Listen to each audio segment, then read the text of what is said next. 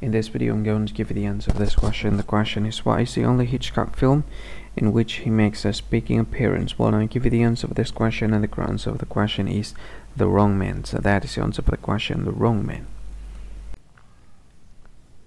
Hi, thank you so much for watching this video. If you find this video is very useful, you can help this channel to grow by subscribing this channel. Please this subscribe button and don't forget to like this video.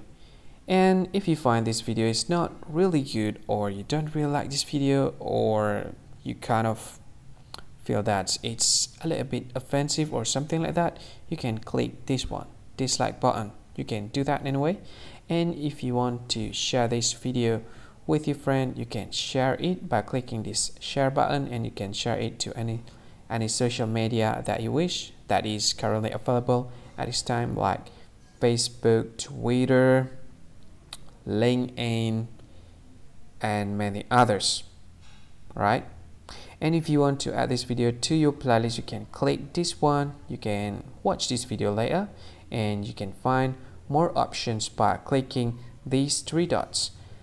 And yeah, don't forget to subscribe. I think that's all of it. Thank you so much for watching this video and see you again in another video. Bye bye. See you again.